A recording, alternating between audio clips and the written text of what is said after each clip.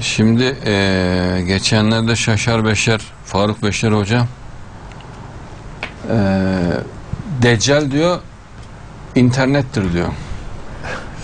Hoppala.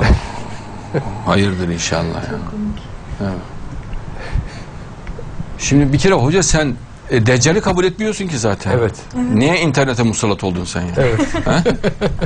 Hiç kabul etmiyorsun evet. sen. Evet. Sen Deccal'i kabul etsen zaten Mehdi ve İsa'yı da kabul etmek durumundasın. Evet hocam.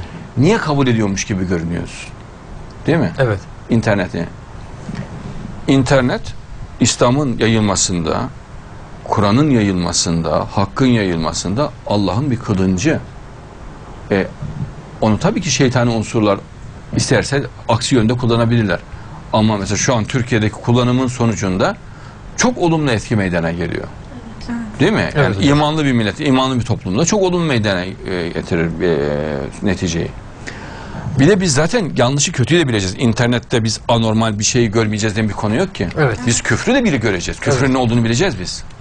Küfür bilmiyorsak, e, Kur'an küfürden bahsediyor, küfrün ne olduğunu bilmeyeceğiz. Olur mu öyle şey? Olmaz inşallah. Hristiyanlıktan bahsediyor, Hristiyanlığın ne olduğunu bileceğiz biz. Musevinin ne olduğunu bileceğiz. Evet. Efendim, Deccali düşüncelerin, Darwinizm, materyalizmin ne olduğunu bileceğiz. Tabii ki internette biz onları göreceğiz. İnşallah. Kötüyü de göreceğiz. Ona karşı mücadeleyi de bileceğiz. Yani o, bilmeyeceğiz diye bir şey yok. Evet. Allah zalimlerden bahsediyor. Onların ahlakını, kişiliğini de biz burada anlatıyoruz işte. Evet. evet. Değil mi? Evet. İnşallah.